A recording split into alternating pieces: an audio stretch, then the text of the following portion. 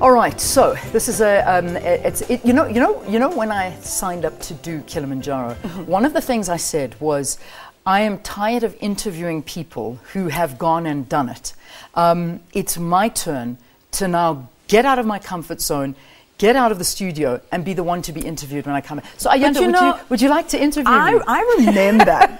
And I said this to the viewers as well that you had you approached this with great trepidation. Yes. So whenever we'd have this conversation, you'd say things like, "Oh, you know, well, even if I don't really, you know, reach the top, you know, it's the thought that counts. A for effort, you Yeah, know, yeah, etc." yeah, etc. Which yeah. said to me that you were nervous as heck, and you were thinking there's a great possibility that I'm not going to get there, and so I don't want to set myself up for failure. Yeah, yeah, yeah. So what kind of thought process? Was going on in your head as you were taking one step at a time? Were you thinking, sheesh, if I don't make this, I'm going to have a lot of explaining to do? Well, you know, I, I did. I did always. I was very upfront and honest about it from the beginning, and I really did because it was something that I never ever believed that I would achieve. I honestly didn't. Um, not that I don't believe in myself, um, but I know my limitations and I know my capabilities. And climbing a mountain is not part of my capabilities, which I now actually have. Um, I, I, I destroyed my image of myself because I did it.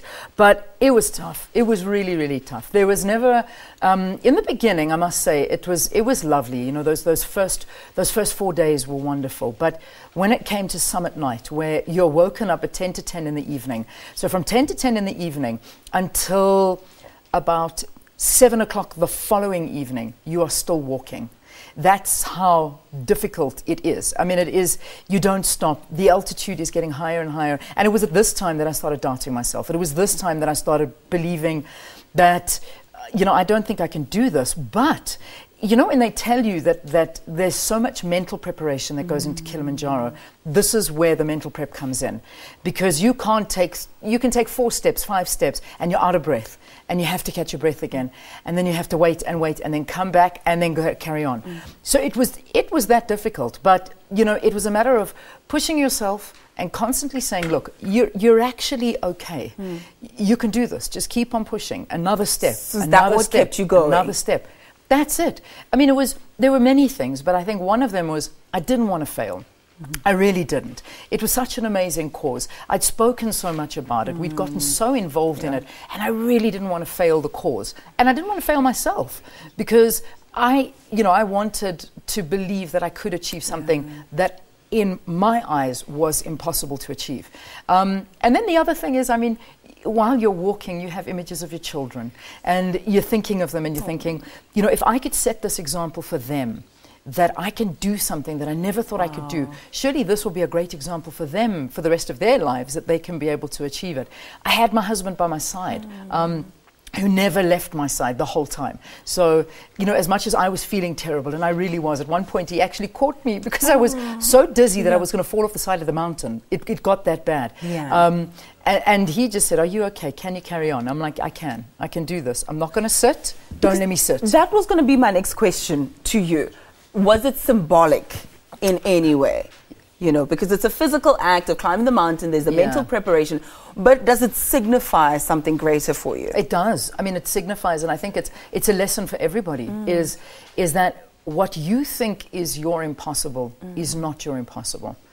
You are capable of achieving greatness. Everyone is. Mm. Um, even if you think you can't do it, you can, because it, it's it's a matter of your mind overriding your mind because your mind is the most powerful thing that can keep telling you you can't do this you can't do this mm. but your body actually can so if you can have that power and that ability to override your mind that is telling you you can't do something and allow your body to do what it knows it can do my gosh you can achieve it. Oh my gosh, I'm about to stand up and start clapping like on some Obama I have, I have become Yes, a motivational speaker. There you go. Yes, we can. You see? Back Ah, to the trip. amazing. Back to the actual trip, Leanne. Okay, let's talk about the logistics of having to to do like crossings every now and again and Oh. save soundbites. And even our cameraman, and Yeah. you told me that you wanted to send a personal I tribute do. to him. I have to, and I know we've got to run into news now, so I've got to wrap this up. But but very quickly, if Quickly, I may. quickly, yeah. I mean, our, our our cameraman, Gillian Pillay, and myself had we were sharing him. So